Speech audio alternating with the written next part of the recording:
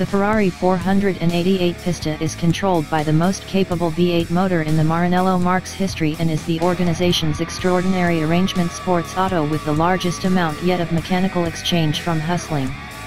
Truth be told the name, signifying track in Italian, was picked particularly to vouch for Ferrari's unparalleled legacy in engine sports.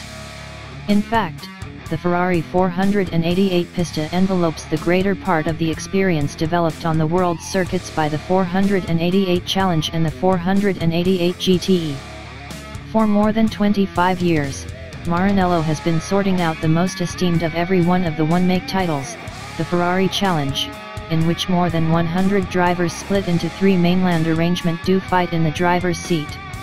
A year ago observed the presentation of the 488 Challenge, the primary model in the arrangement to be furnished with a turbo motor.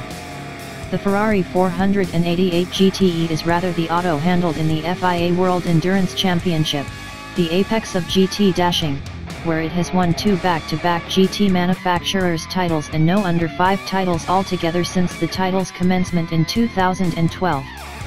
Because of wins in both the Pro and M classes, the 488 GTE has removed no less than 35 from the 50 races hurried to date. The new Auto's motor receives various arrangements from that of the 488 Challenge and its energy yield has been expanded to 720 CV. It is additionally lighter, on account of new titanium conpoles and carbon fiber consumption plenums.